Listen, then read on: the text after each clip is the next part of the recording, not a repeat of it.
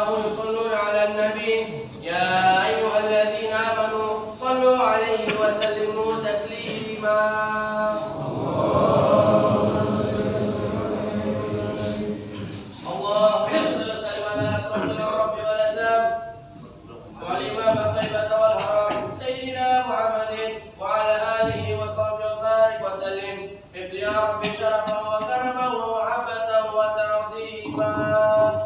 Assalamualaikum warahmatullahi wabarakatuh.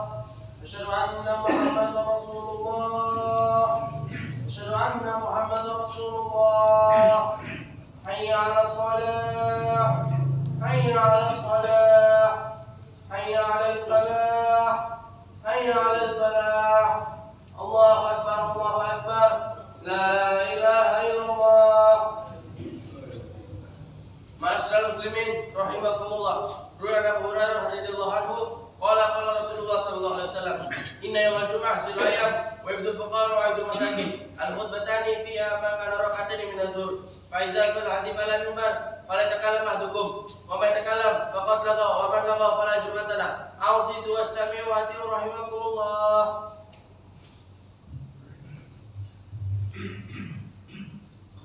الحمد لله. الحمد لله رب العالمين. نستعين ونستغفره.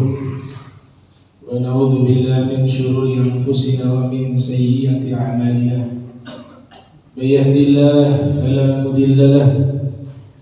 ومن يضلله فلا هادي له. أشهد أن لا إله إلا الله وحده لا شريك له. وأشهد أن سيدنا محمدا عبده ورسوله.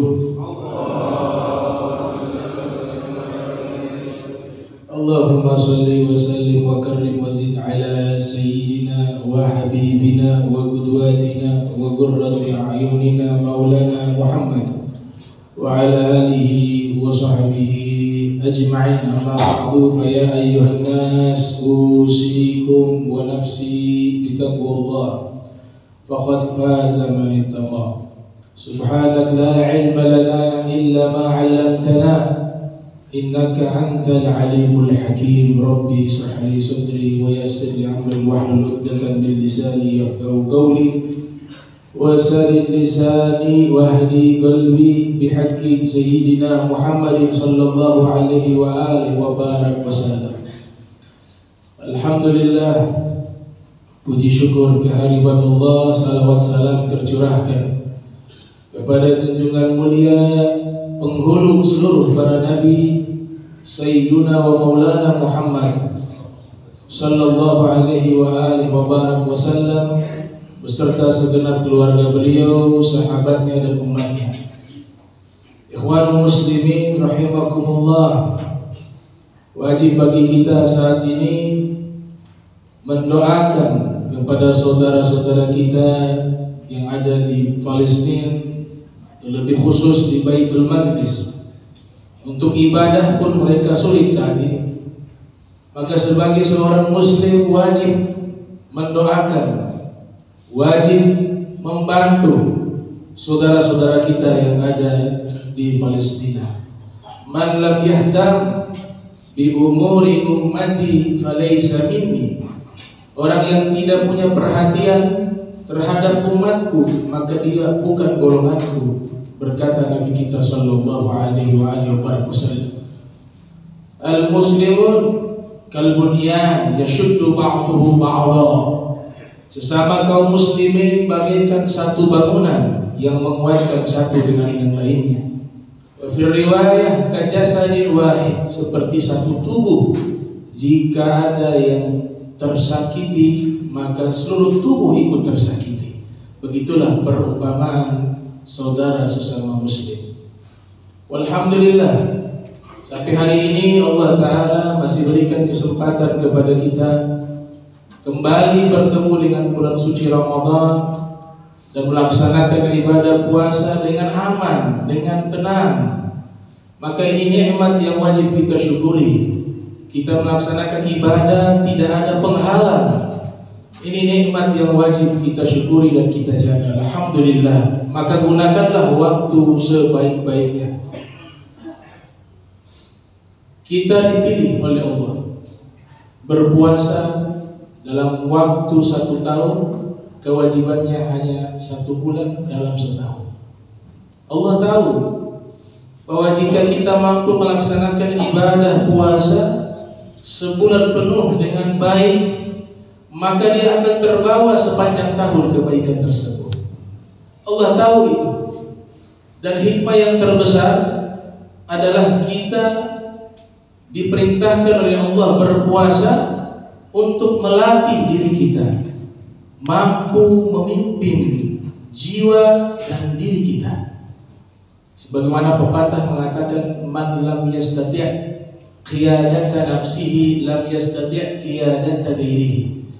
Orang yang tidak mampu memimpin dirinya maka tidak akan mungkin dia bisa menjadi pemimpin bagi orang lain. Puasa ini hikmah terbesarnya kata Buya Hamka di dalam tafsir Al-Azharnya. Beliau mengatakan bahwa hikmah terbesar dalam melaksanakan ibadah puasa adalah Allah ingin melatih diri kita mampu tidak kita memimpin dan mengendalikan diri kita. Karena kita melawan nafsu kita. Yang nafsu ini ingin makan, kita lawan dia. Nafsu ini mengajak minum, kita lawan dia. Sehingga terdidik jiwa kita untuk tunduk atas perintah kita. Kalau itu mampu dia lakukan, maka dia bisa menjadi pemimpin. Tapi kalau puasa pun dia tidak mampu, maka jangan harap dia bisa menjadi pemimpin yang baik bagi umat. Oleh sebab itu ikhwan muslimin kami temukan Allah berikan fasilitas yang sangat banyak di bulan suci Ramadan. Kita ketahui setiap orang yang berpuasa Allah berikan satu fasilitas doanya mustajab biasanya kita menunggu waktu-waktu mustajab untuk berdoa seperti sepertiga malam. Biasanya juga kita menunggu keadaan yang mustajab untuk kita berdoa seperti turunnya hujan. Tapi fasilitas doa mustajab Allah berikan kepada kita mulai dari terbitnya fajar sodik hingga tenggelamnya matahari. Sejauh itu waktu tersebut mustajab bagi orang yang berpuasa. Maka gunakanlah ini sebagai doa terutama kepada saudara-saudara kita yang saat ini tertindas di Palestina. Mudah-mudahan Allah Ta'ala selamatkan mereka. Allah binasakan musuh-musuh Allah yang ingin menghancurkan saudara-saudara kita. Allah berikan pertolongan kepada mereka. Allah berikan bantuan kepada mereka sebagaimana Allah menolong nabinya dan sahabat-sahabatnya dan keluarganya di perang Badar di perang Hunain, di perang Yarmuk. Mudah-mudahan Allah terima doa kita. Amin ya rabbal alamin. Ikhwan muslimin rahimakumullah. Disebutkan oleh Ibnu Asakir dalam kitab Mu'jam Suyukh. Rasulullah Muhammad sallallahu alaihi wa alihi wa barak wasallam bersabda thalathu da'awatin la turaddu ada tiga doa yang tidak akan ditolak oleh Allah Subhanahu wa taala yang pertama da'watul walid liwaladihi. Doa orang tua kepada anaknya tidak mungkin ditolak oleh Allah Subhanahu wa taala. Apalagi doa seorang ibu jauh lebih mustajab. Bahkan disebutkan di dalam riwayat doa orang tua seperti doanya para nabi kepada umat mereka. La hijabah, tidak ada hijab, tidak ada penghalang. Doa yang kedua yang mustajab, da'watus shaim, doa orang yang sedang berpuasa dan doa ketiga yang mustajab da'watul musafir doa orang yang melakukan perjalanan jauh musafir maka ini fasilitas alhamdulillah saat ini Allah berikan kepada kita dengan diberikan mustajabud doa mustajabnya doa kita mudah-mudahan Allah taala terima semua hajat kita permintaan kita amin ya rabbal alamin namun perlu kita ketahui doa sebagai seorang mukmin tidak pernah ditolak oleh Allah. Hakikatnya semua doa yang kita panjatkan tidak pernah ditolak oleh Allah. Semuanya Allah terima.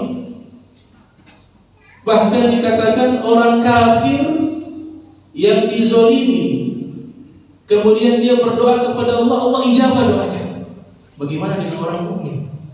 Syekh Nawawi Al-Bantani dalam kitab Kashifatus Sajad menyatakan iblis jangankan orang kafir, iblis yang sudah jelas-jelas dilaknat oleh Allah, yang sudah jelas-jelas Allah nyatakan tempatnya di dalam neraka, yang sudah jelas-jelas Allah katakan telah putus rahmatku kepadanya. Ketika meminta agar usianya dipanjangkan sampai hari kiamat, Allah terima doanya.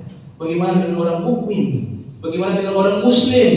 maka Allah Ta'ala menyatakan dengan penuh keyakinan mengajak kita umat Islam berdoalah kepada Allah pasti aku ijabah wa qala rabbukum ud'uni astajib lakum Tuhan kalian mengatakan mintalah padaku pasti aku ijabah doa kalian namun dijelaskan oleh Al-Habib Abdullah Al-Haddad ada penghalang-penghalang yang menghalangi doa kita. Beliau sebutkan ada lima daripada penghalang doa yang mustajab dalam kitabnya An-Nufus Al-Ulumiyah fil Masail Sufiyah. Yang pertama aklul haram wal yaitu kita mengkonsumsi makanan-makanan yang haram dan menggunakan pakaian yang haram. Hal ini menghalangi diijabahnya doa. Hakikatnya doa diijabah oleh Allah, tapi adanya mawanek wa awarid dalam ilmu tasawuf Imam Ghazali mengatakan rintangan-rintangan dan penghalang-penghalang doa ini wajib kita hilangkan kalau kita ingin doa kita diijabah oleh Allah Subhanahu wa taala. Yang pertama, memakan makanan yang halal dan menggunakan pakaian yang halal. Inna Allah Ta'ala thayyibun la yaqbalu illa thayyiba. Wa inna Allah Ta'ala amara al-mu'minin bima amara bihi al-mursalin. Faqala Allah Subhanahu wa ta'ala ya ayyuhar rusul kulu minat thayyibati wa'malu shalihan wa qala Allah subhanahu wa ta'ala lil mu'minin ya ayyuhalladzina amanu kulu min thayyibati ma razaqnakum akbar يمد يديه إلى sama فقال ya rabbi ya rabbi ومطعمه حرام haramun حرام وملبسه haramun وغذي بالحرام haramun يستجاب ذلك bil harami Nabi menyatakan bahwa Allah maha baik tidak menerima kecuali yang baik. Allah perintahkan para rasulnya untuk memakan makanan yang halal. Padahal tidak mungkin para rasul memakan makanan yang haram Tapi ini ada hikmah.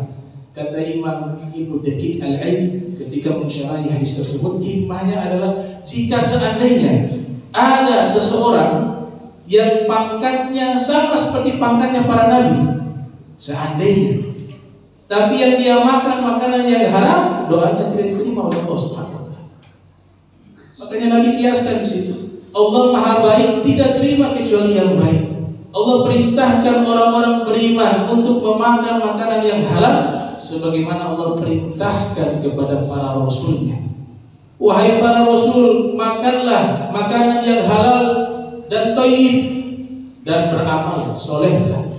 Perintah makan dulu yang halal baru beramal soleh. Tidak beramal soleh dulu baru makan yang halal. Kenapa? Karena ini yang menjadi hal yang paling utama. Amalan kita, doa kita bisa diterima oleh Allah jika makanan yang kita makan makanan yang halal.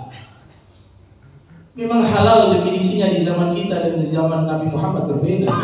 Imam Ghazali mengatakan bahwa di zaman beliau yang halal 100% hanya air hujan. Selebihnya sudah ada syubhat di dalamnya.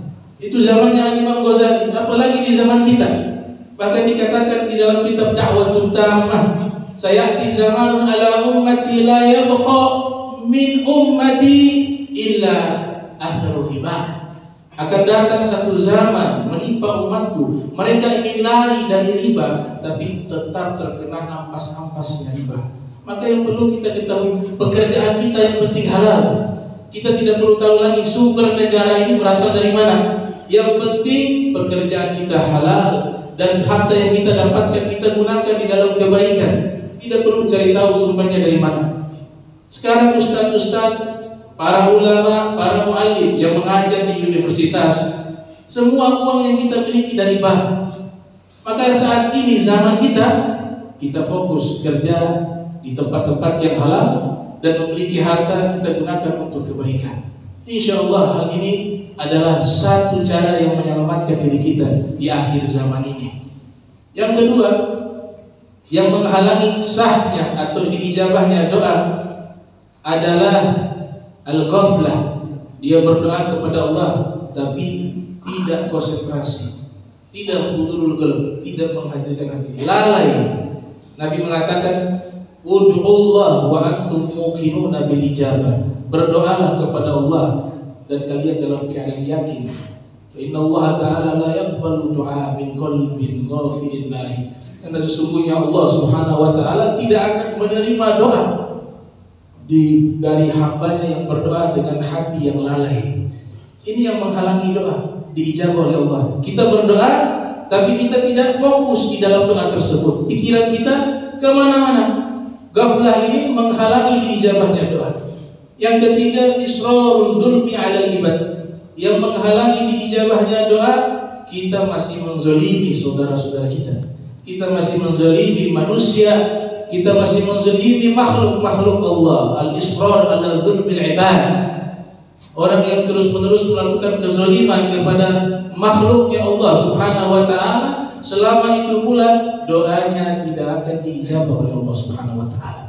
Baik dengan perbuatannya ataupun ucapannya. Coba kita perhatikan.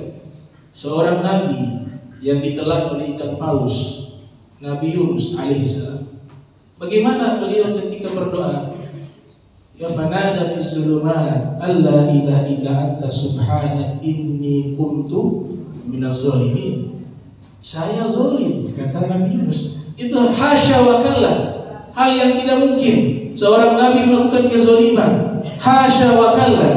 Hal yang tidak mungkin para nabi melakukan kezaliman, tapi ini pendidikan kepada kita. Kalau ingin doa kita diijabah oleh Allah, seluruh kezaliman yang ada di dalam diri kita, baik yang kita lakukan dengan perbuatan kita maupun ucapan kita, semuanya sudah dihilangkan. Kita tidak pernah zolimi siapa pun, bahkan hewan sekalipun. Maka orang semacam ini doa doanya akan diijabah oleh Allah Subhanahu Wa Taala. Bagaikan petir yang menyambar, begitu cepatnya diijabah oleh Allah Subhanahu Wa Taala. Yang keempat, para ulama mengatakan yaitu qat'ur rahim, memutus silaturahmi. Hal itu juga menghalangi diijabahnya doa. Kenapa? Karena ijabahnya doa itu bagian dari kasih sayangnya Allah. Orang yang memutus silaturahmi, rahmat tersebut tidak akan diberikan kepadanya. Inna rahmata la tanzilu ala qaumin wa fihim rahim. Sesungguhnya rahmat Allah tidak akan pernah turun kepada satu kaum padahal kaum ini tidak zalim. Ini hadis Nabi katakan rahmat tidak akan pernah turun kepada satu kaum selama di dalam kaum tersebut ada satu orang yang memutus silaturahmi. Bagaimana yang memutus silaturahminya? Yang kaumnya juga rahmat tidak turun karena sebab ada satu orang yang memutus silaturahmi berkumpul dengan mereka. Maka ini yang menghalangi daripada diijabahnya doa kita oleh Allah Subhanahu wa taala. Dan yang kelima musyahid, orang yang sedang bertengkar. Kedua-duanya tidak akan diijabah oleh Allah Taala doa kecuali sudah berdamai faslihu baina akhawaikum la'allakum tattaqun la'allakum turhamun. Berdamailah antara dua saudara kalian. Maka Allah akan berikan rahmatnya. Rahmat berupa diijabahnya doa dari Allah Subhanahu wa taala. Kemudian tambahan yang disebutkan oleh Imam Nawawi dan disyarahi oleh para ulama dalam kitab Al-Adhkar An-Nawawiyah. Saya tambahkan yang keenam. Dan ini salah satu bentuk e, doa yang memang turun temurun diajarkan oleh Rasulullah, diajarkan kepada para sahabat, para tabi'in, tabi tabi'in, ulama salaf, ulama khalaf, mutaakhirin. Semua mereka kalau berdoa gunakan cara ini. Apa itu? Isi doa tersebut diawali dengan pujian kepada Allah. Alhamdulillah. Kalau tanpa pujian kepada Allah, maka doa itu terkatung-katung. Kemudian ditambah dengan salawat dan salam kepada junjungan mulia Habib Muhammad sallallahu alaihi wasallam. Inna ahadukum idza shalla apabila seorang di antara kalian sholat kemudian setelah itu berdoa faliyabda min tahmidillah maka awalilah dengan memuji Allah. Thumma yusalli ala nabi. Kemudian dia bersalawat kepada Nabi Muhammad sallallahu alaihi wasallam. Thumma yad'u ba'du bima syaa. Kemudian setelah itu isilah doa sesuka hati kalian ini riwayat disebutkan oleh Abu Dawud di dalam sunannya. Barakallahu li wa lakum fil Qur'an Karim. Wa nafa'ani wa iyyakum bima fihi minal ayati wa dhikril hakim. Wa taqabbala minni wa minkum tilawatahu innahu huwas samiul alim. Aqulu qawli li wa muslimin wal muslimat. Wal mu'minin wal mu'minat al ahya minhum wal amwat fastaghfiruhu innahu huwal ghafurur rahim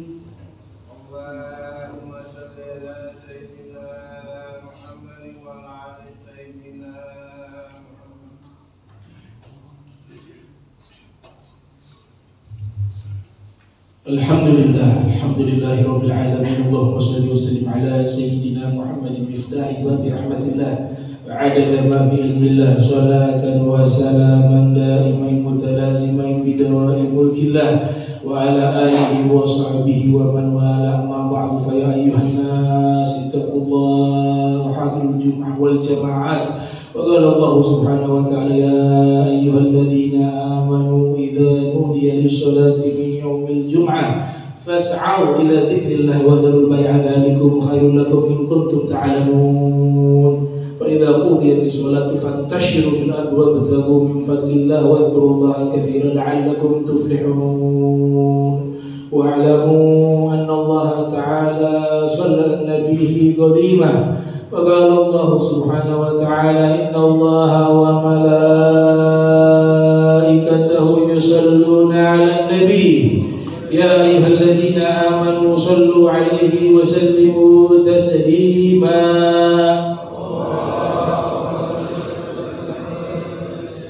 اللهم صل وسلم على سيدنا محمد في الأولين وصل وسلم على سيدنا محمد في الآخرين وصل وسلم على سيدنا محمد في كل وقت وحين. وصل وسلم على سيدنا محمد في الملأ الأعلى إلى يوم الدين.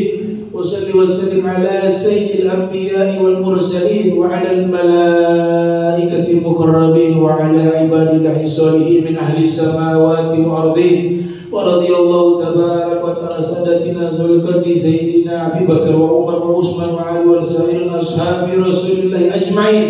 وتابعين لهم بإحسان إلى يوم الدين وانصرنا وارحمنا معهم برحمتك يا أرحم الراحمين.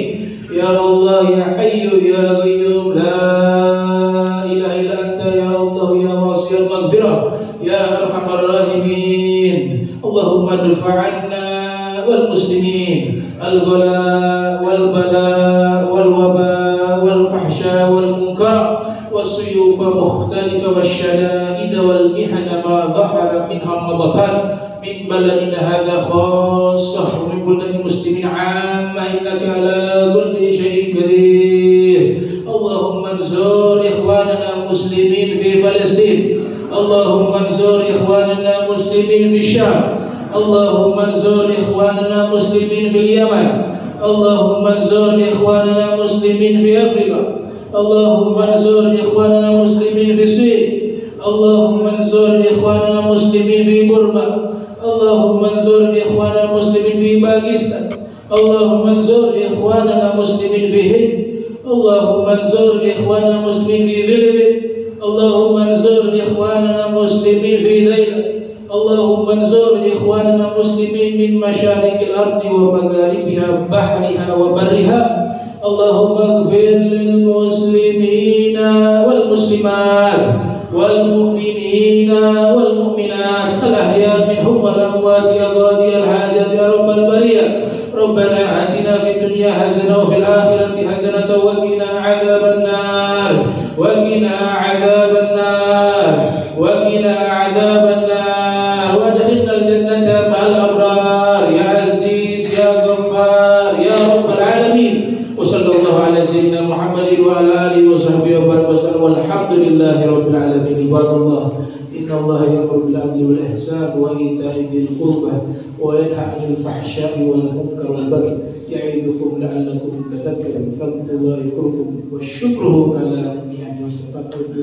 nastaghfiruka wa natubu